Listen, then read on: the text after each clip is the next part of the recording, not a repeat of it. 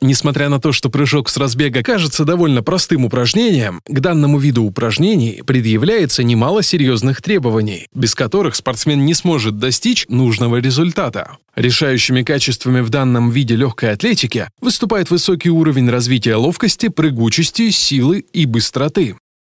Прыжок в длину относится к наиболее древним соревновательным упражнениям. В античном мире прыжок в длину входил в состав греческого пятиборья – пентатлона. Самый дальний прыжок фиксировали чертой на грунте. Во время прыжка участник держал в руках металлический предмет или предмет из камня, так называемые гантели. Если участник при исполнении прыжка падал на спину во время приземления, прыжок не засчитывался. В XIX веке спортсменами из Великобритании и США была разработана техника прыжка в длину. Прежде всего, были усовершенствованы разбег и толчок. Англичанин О'Коннор ввел беговую технику прыжка в длину и в 1901 году установил мировой рекорд – 7,61 метр, который был улучшен лишь спустя 20 лет.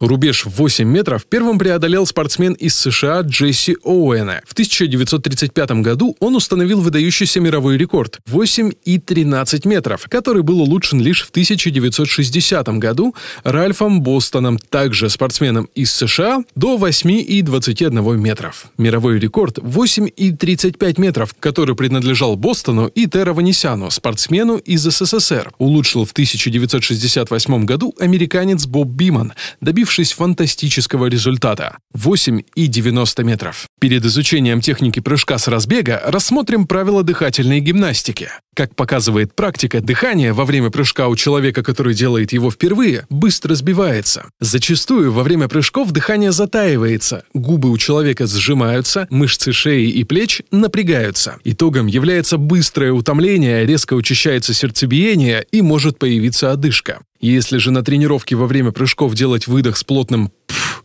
то излишнего напряжения не возникнет. Пульс будет учащаться незначительно и быстро возвращаться к норме, а дышки не появляется. Тренировку дыхания нужно начинать с простых прыжков на месте, с одновременным выдохом на плотном и длинном «пф». Вначале не рекомендовано перенапрягаться. Прыгать нужно не более 15-20 прыжков подряд. Перед началом прыжков нужно сделать обычный выдох. Необходимо следить за дыханием на выдохе. Нужно стараться выдерживать постоянный, удобный для вас ритм всех трех фаз дыхания. Понять, что вы правильно выполняете упражнение, просто. Дыхание должно быть свободным, незатрудненным и не требующим особого напряжения. Нужно помнить, выдох после прыжков настоятельно необходим. Четырех-шести плотных и длинных выдохов должно хватить для полного восстановления сердечного ритма, если он все же сбился, и для восстановления нормального дыхания, если также произошел его сбой.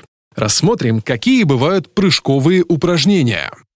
Прыжковые упражнения, плеометрические, можно подразделить на прыжки с разбега и прыжки на месте. Прыжки с разбега обычно делаются с 13-15 шагов.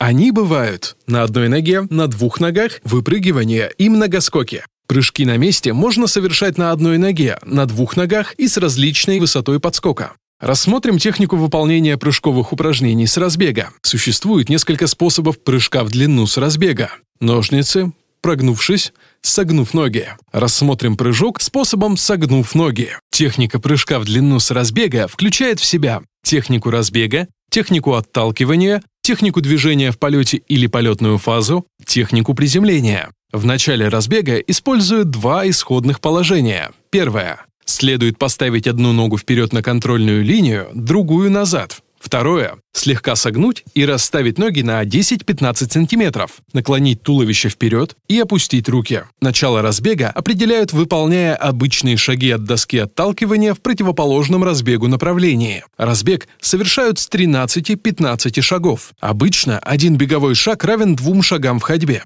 Во время прыжков возможна незначительная коррекция места начала разбега. Разбег выполняется с постепенным или быстрым увеличением скорости. Важно, чтобы к моменту отталкивания она была максимальной, туловище находилось в вертикальном положении, и прыгун мог без лишнего напряжения перейти к отталкиванию. Следующая стадия – это отталкивание. Отталкивание начинают с постановки ноги на специальную пограничную отметку – брусок. В этот момент стопой нужно опереться на внешний свод, хотя некоторые легкоатлеты смещают центр тяжести сразу с пятки на носок. В любом случае, скольжение ноги вперед должно составлять от 2 до 5 сантиметров. Оптимальное отталкивание в прыжках в длину достигается специальным положением стопы. Толчковая нога должна быть наклонена на 70 градусов и слегка согнута в колене. После фазы отталкивания от дорожки для спортсмена начинается самое тяжелое – движение в воздухе. Во время взлета толчковая нога должна некоторое время оставаться позади корпуса, а маховая быть согнутой до горизонтального уровня. Такая техника прыжка в длину с разбега используется в любом способе, даже в ножницах. Корпус при этом следует немного наклонить вперед. Руки должны быть согнуты и направлены по оси движения в разные стороны. Подготовка к фазе приземления начинается в тот момент, когда траектория полета начинает снижаться. В этот момент важно правильно сгруппироваться. Для эффективности следует удерживать ноги в таком положении, чтобы их продольная проекция находилась под максимально острым углом к горизонтальной поверхности. Техника прыжка в длину с разбега подразумевает также правильное соприкосновение с областью приземления. При этом важно позаботиться об уходе из фазы полета. Для этого необходимо расслабить одну ногу, в сторону которой будет осуществлен маневр, и в момент касания с поверхностью развернуть корпус. Уход осуществляется через спину, назад, выводя одновременно и плечо, и руку вперед. Стоит отметить, что преждевременное выведение туловища в такое положение может привести к опусканию ног и раннему соприкосновению с поверхностью.